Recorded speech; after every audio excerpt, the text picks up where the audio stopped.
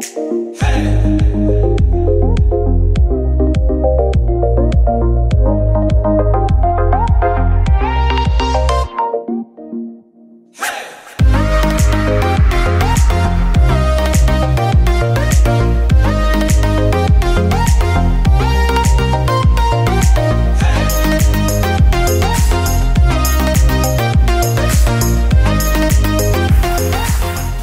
Staff Edukasi. Ya, kita kembali lagi di channel Kebanggaan Anak Pramuka. Tentu aja Tunastup. Oke, kita bakalan ke Curug Nagasari. Uh, biar lebih enak, uh, aku bakalan lepas masker aja karena di sini juga sepi. Dan kebetulan uh, curug ini sekarang nggak dibuka buat umum ya tapi buat kalian yang pengen ke sini diperbolehkan karena di warga tempat uh, memperbolehkan buat pengunjung untuk melihat Curug Nagasari ini. Biar kalian nggak kelamaan ini ini bukan curugnya ya ini masih seperti pintu masuknya. Kalau loketnya di sana biasanya harga normalnya 5000 buat masuknya tapi karena sekarang uh, buat umum masih ditutup dan masih dibatasi buat wisatawan yang mau mengunjungi jadinya masih gratis gitu. Ya kita bakalan lanjut ke uh, destinasi sebenarnya. Ini masih pintu masuk dari uh, Curug Nagasari. Oke. okay.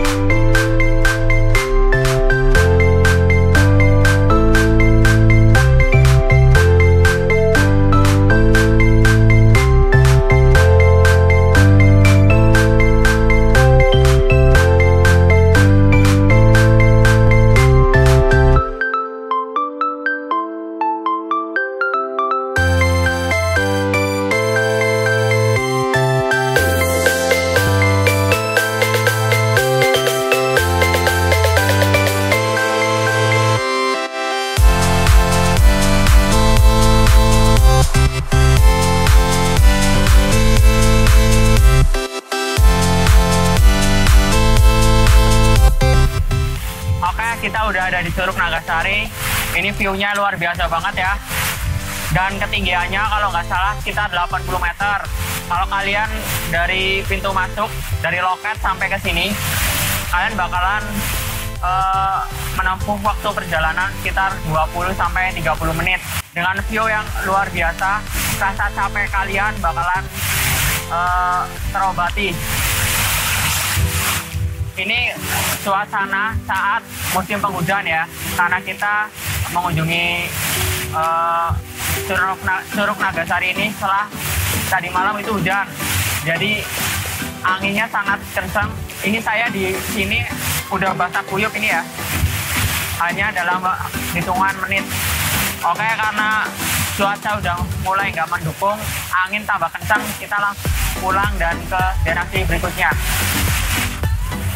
karena kita akan mengajar mengejar waktu, saya langsung menutup aja di sini ya.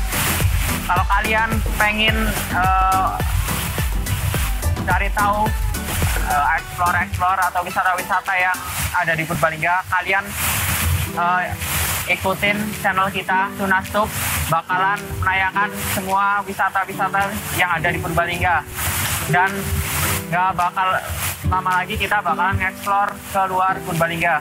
Oke, sekian. Wassalamualaikum warahmatullahi wabarakatuh. Salam pramuka dan salam edukasi.